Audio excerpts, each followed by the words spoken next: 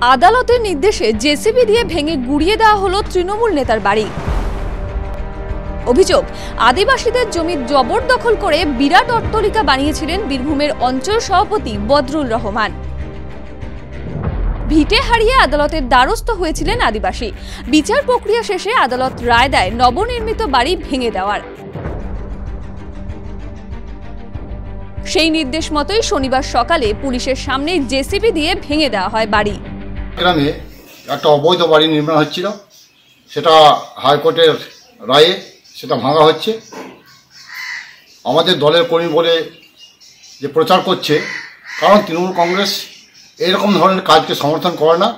এটা ভালো উদ্যোগ, সরকার উদ্যোগ নিয়েছে। অতএব আমরা আইনকে শ্রদ্ধা করি। আইন, আইনের মোতাবেক চলবে। কারণ তৃণমূল কংগ্রেস আইনের ঊর্ধ্বে নয়। ঘটনায় বিচার ব্যবস্থাকে সাধুবাদ জানিয়েছেন আদিবাসী সম্প্রদায়। Bureau report Arohi News.